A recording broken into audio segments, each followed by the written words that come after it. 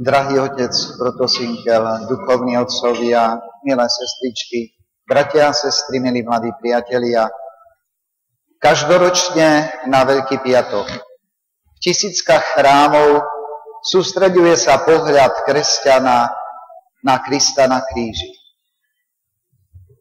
A teraz si predstavte situáciu, že by prišiel nejaký neznámy človek a vy ako znali veci by ste dostali otázku, kto vlastne je ten človek na kríži. Možno by ste sa snažili odpovedať starými zaužívanými faktami. Je to Boží syn, je to spasiteľ sveta. Ale keby ste tak ľudsky, úplne ľudsky mali odpovedať, museli by ste povedať, ten človek na kríži, ten muž na kríži, je najsilnejší muž na svete.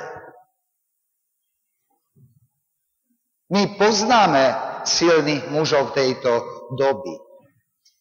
Ale tento muž na kríži všetkých predčí. Jemu patrí nielen Amerika, nielen Rusko, nielen Čína, nielen vojsko, nielen súdnictvo. Jemu dokonca patrí celý vesmír lebo ako Boh to všetko stvoril. A potom by isto nasledovala iná otázka, no ako je to možné, že najsilnejší muž takto skončil? Takto nezmyselne, nelogicky, bláznivo skončil.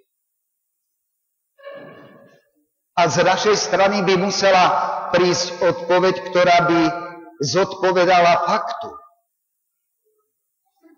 Kto sa tak bláznivo správa, že je schopný každej obety kvôli druhému?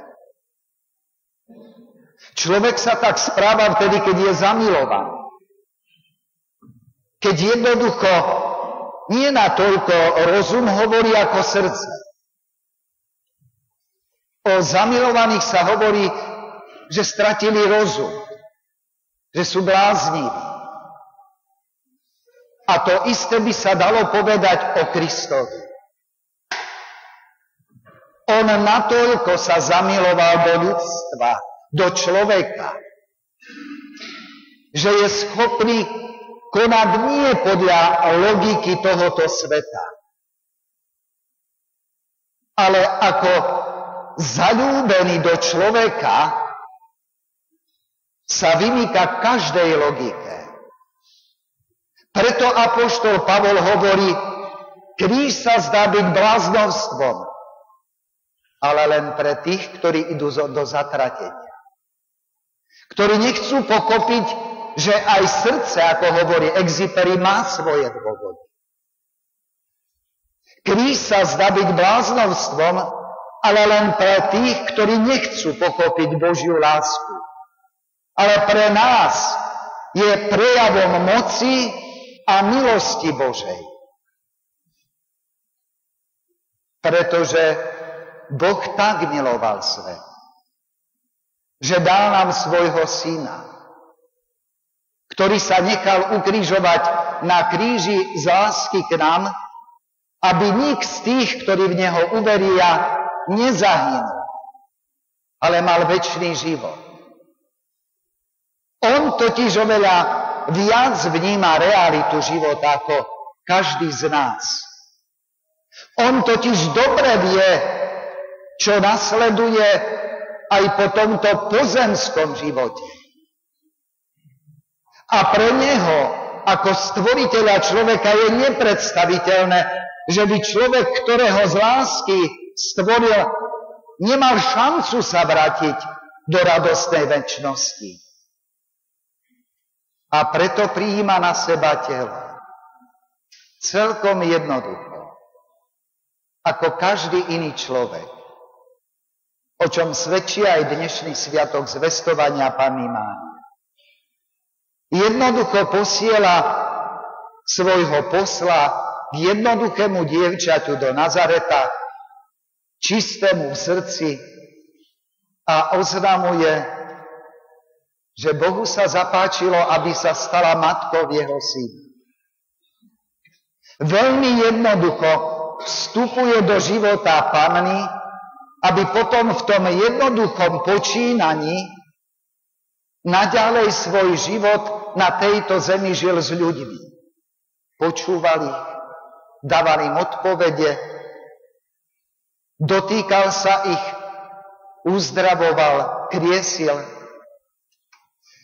Ale to všetko bolo len veľmi, veľmi čiastočné pre potreby človeka. Človek potreboval čosi viacej ako len dočasné utišenie bolesti, odohnanie slepoty alebo hluchoty. Človek potreboval mať nádej. A to vyžaduje čosi viac ako len urobenie momentálneho zázraku alebo zásahu. Preto keď sa mu ľudia posmievali a provokovali ho, idúcky s krížom na Golgotu, keď si syn Boží, zostup z kríža a my ti uveríme. Ale on vedel, že toto je logika sveta. Vôbec nie je pravda to, že keby Kristus bol vtedy zostúpil z kríža, dnes by sme ešte o ňom hovorili. On to veľmi dobre vedel, že zázrak alebo mimoriadná udalosť zaujme človeka na chvíľku, tak ako teraz v tejto dobe momentálne nejaké situácie, ktoré sa nám zrazu objavia a stratia. Jak sa u nás hovorí, každé čudo tri dní trvá. Ježiš nechcel takéto čudo. On chcel človekovi naozaj pomôcť, lebo je milujúcim človeka ako to mnohokrát v liturgii znovu a znovu zdôrazňuje. Lebo je dobrý a miluje nás. Ako milujúci človek, ako čelový koľubec. A táto láska sa neprejavuje momentkami, ktoré zaujmú alebo ktoré na chvíľku povytrnú človeka z jeho, z jeho všednosti. Táto láska sa prejavuje čím si definitívnym a silným.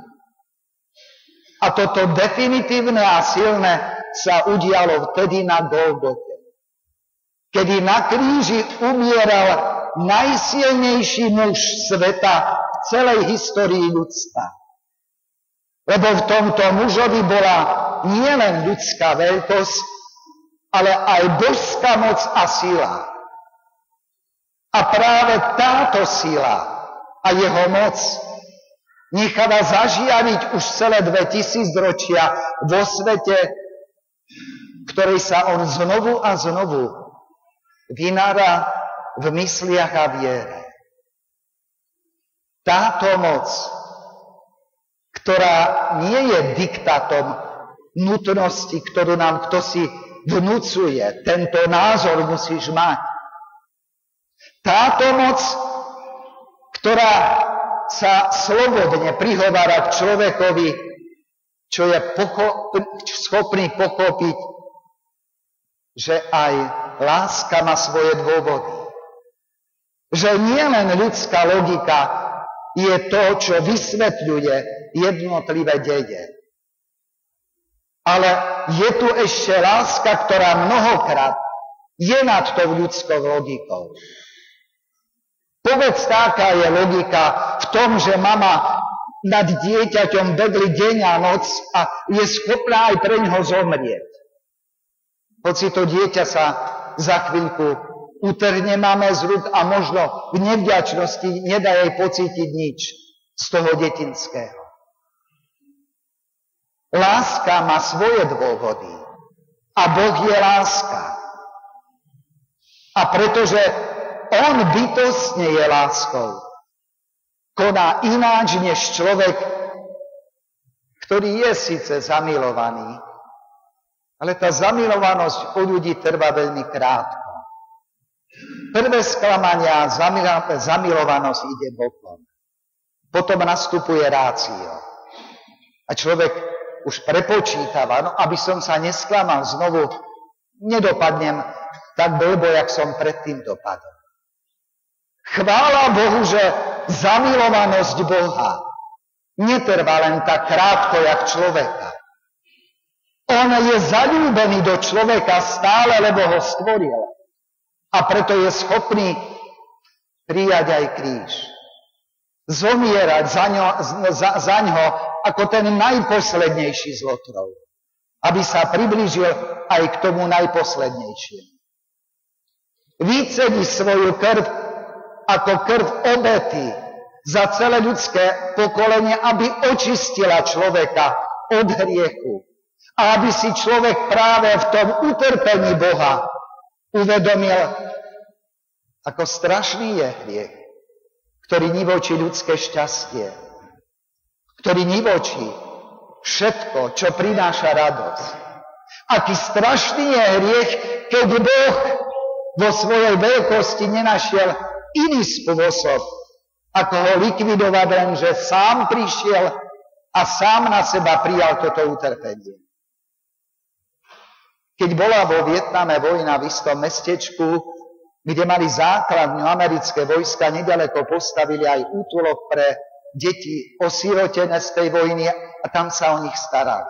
Ale keďže to bolo veľmi blízko, tak nie, raz sa stalo, že bomby dopadali aj na tento útulok a raz tam zranili chlapčeka veľmi vážne a stratil veľa krvi. Lekári nemali na porúdzi jeho krvnú skupinu a hoci zháňali, ako sa dalo, nakoniec, nakoniec sa len sklonili k chlapčekovi, jeho priateľovi Kajovi, ktorý mal rovnakú krvnú skupinu a, a, a s istým rizikom šli do toho a po, začali vysvetľovať chlapčekovi, že keď chceš, aby sa tvoj kamarát za, za, zachráň, aby si sa s ním mohol ešte hrať, tak potrebovali by sme, aby si mu dal krv a tá ho, tvoja krv by ho zachránila. Chlapček ešte nič nevedel o transfúzii, čo to je, ale samozrejme, že kamaráta nechcel stratiť a preto, preto s radosťou ponúkol svoju krv. Keď už tiekla zo žily tohoto zdravého chlapčeka krv do, do, do tohoto poraneného, po chvíľke sa tento chlapček rozplakal, srdce rvúco sa rozplakal a lekár sa opýta, Kaja, čo je s tebou, bolí ťa niečo? Ty si bol ranen? Nie, nič ma neboli. Keď sa utišil, zase po chvíľke sa silne rozplakal a lekár hľadal dôvod, Kaja, čo sa ti stalo, bolí ťa niečo, alebo ti niečo máme, niečo máme pomôcť, alebo takto ti chýba.